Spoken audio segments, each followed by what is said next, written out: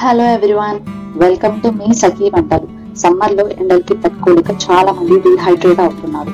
అందుకని ఈ రోజు నేను పుదీనా నిమ్మరసం టేస్టీగా అండ్ కాస్త డిఫరెంట్గా ఎలా చేసుకోవాలో చూపించబోతున్నాను. సో వీడియోని ఎండ్ వరకు చూడండి. ముందుగా మిక్సీ జార్లో నిమ్మరసం కొద్దిగా పుదీనా అలాగే అల్లం ముక్కలు. అల్లం ఇమ్యూనిటీ బూస్టర్ లాగా పనిచేస్తుంది. అలాగే అల్లం యాడ్ చేసుకుంటే ఈ జ్యూస్కి మంచి టేస్ట్ వస్తుంది. అల్లం వేసుకున్నాక టూ స్పూన్స్ షుగర్ పావు టీ స్పూన్ సాల్ట్ అలాగే కొద్దిగా వాటర్ వేసుకొని బాగా మిక్సీ పట్టుకోవాలి. మిక్సీ పట్టుకున్నదంతా కూడా ఒక పెద్ద గ్లాస్లోకి లేదా ఒక గిన్నెలోకి వడకట్టేసుకోవాలి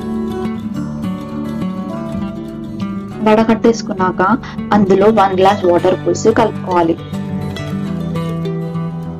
ఫైనల్గా ఒక సర్వింగ్ గ్లాస్లోకి ఈ పుదీనా నిమ్మరసాన్ని ట్రాన్స్ఫర్ చేసుకోండి.